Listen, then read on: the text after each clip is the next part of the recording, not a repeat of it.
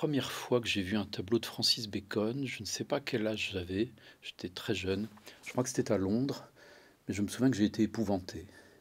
C'était les trois figures au pied d'une crucifixion, donc ce triptyque sur fond orange, où se dressent trois monstres grisâtres, euh, avec de longs coups, des espèces de serpents euh, qui hurlaient, des serpents dentés. Et euh, bon, ce tableau que j'ai rejeté hein, m'a accompagné pendant longtemps de manière négative, mais également de manière pulsionnelle, parce que dans toute horreur, il y a aussi une féerie. Enfin, chez les, Grecs anciens, les serpents sont des nymphes et les nymphes sont des serpents. Et euh, voilà, je me suis mis à aimer plus tard Bacon pour des raisons esthétiques, pour des raisons, euh, euh, je dirais, philosophiques, ou parce que ça, disait des choses sur l'angoisse existentielle. Voilà, ces tableaux très, très, dont les impacts sont énormes. Mais la première fois, c'était l'épouvante. J'ai quitté la salle, je me souviens. Des années plus tard, quand on m'a quand on m'a proposé de, de, passer la nuit pour la collection Manu au musée avec 42 tableaux de Francis Bacon au Centre Pompidou, donc c'était en, 2019, un peu avant le, grand épisode du Covid. Euh,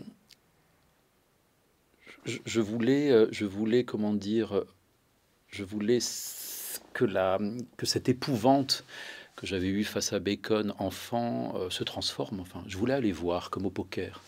Et je voulais transformer cette épouvante.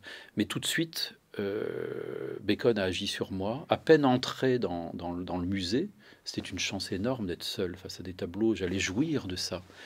J'ai été atteint par une migraine ophtalmique assez terrible. À l'époque, j'y étais sujet, qui m'ont cisaillé les yeux. C'est-à-dire, je voyais plus rien. Il y avait une espèce d'étagement comme au couteau. J'ai failli m'évanouir. Et euh, le jeu des néons, des reflets euh, des tableaux, puisque les tableaux de Bacon sont enfermés derrière des vitres, euh, m'ont atteint. Voilà. J'ai dû passer la, les, premières heures de cette nuit qui devait être enchantée avec un bandeau sur les yeux, bourré de, médicaments, à me demander si j'allais pas passer la nuit à dormir. Donc je tiens Bacon pour un sorcier. et j'ai un rapport, effectivement, alors lui, ce sera un sorcier noir et moi, un sorcier blanc, parce que je sais me défendre aussi. Euh, voilà, j'ai un rapport avec lui très conflictuel et, très aimant. Et euh, je me laisse prendre par la peinture de Bacon, je la vis. Et euh, ce qui s'est passé durant cette nuit, que j'essaye de, raconter dans, dans ce livre, la Bleu Bacon, c'est une, c'est une passe magnétique. Voilà. Ce qui m'intéresse, c'est pas seulement la peinture elle-même, c'est ce qu'elle produit sur nous, ce qu'elle provoque en termes d'émotion, en termes de cataclysme sensoriel. Et euh, je me suis laissé envahir, c'est une chance unique, enfin ça se reproduira pas pour moi. Je me suis laissé envahir pendant toute une nuit par l'univers de Bacon que j'ai approché, presque épousé, tout en faisant attention de ne pas être détruit par cette peinture extraordinairement violente. Bacon, il, il, il fait partie de ces peintres comme le Caravage, enfin, c'est des peintres euh, à qui j'ai consacré beaucoup de mon temps, sont des peintres qui dénudent la violence pour nous. Bacon, c'est pas un violent lui-même, c'est sa peinture qui dénude la violence et qui nous la, qui nous la jette au visage pour montrer le monde peut-être sous une facette que nos yeux épuisés par les images euh, ne voient plus. Je pense que de voir de la peinture, de la voir dans ces conditions-là, bon, c'est un risque. Euh, physique. Euh, et j'aime bien ne pas me ménager, mais au moins ça me nettoie de cette saturation d'images pour rien dans lesquelles euh, nous épuisons, en tous les cas j'épuise mes journées enfin, sur des écrans. Et la peinture, c'est le contraire de l'écran. Là, d'un coup, on est face à quelque chose de, j'allais dire, de minéral, de physique, de, de, de une matière. Voilà.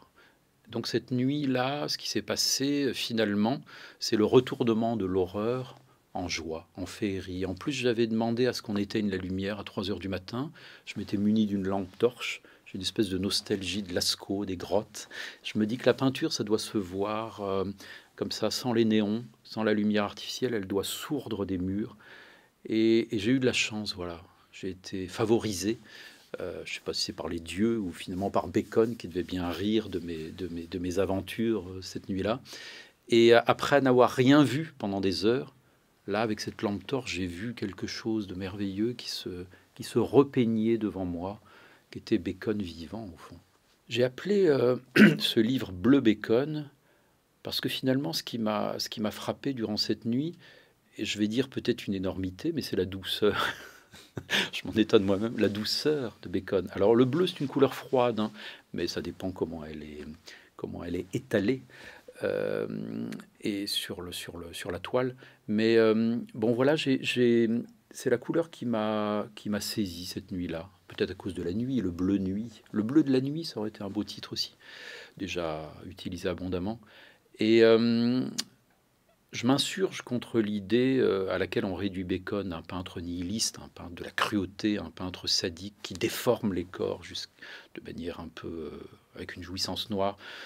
Il y a ça évidemment, mais c'est un premier, un premier cap qu'il faut franchir pour entrer peu à peu, quand on a la chance de jouir de sa peinture, enfin de l'aimer, voilà, tout simplement, c'est une question d'amour, d'entrer dans, dans une forme de délicatesse, il a osé l'orange, il a osé le rose, peindre en rose, vous imaginez, des fonds roses avec Oedipe et le sphinx, et ce bleu très sexué, très érotisé, enfin ce bleu sexuel. Enfin, il y, a un tableau qui s'appelle Les Lutteurs des années 50.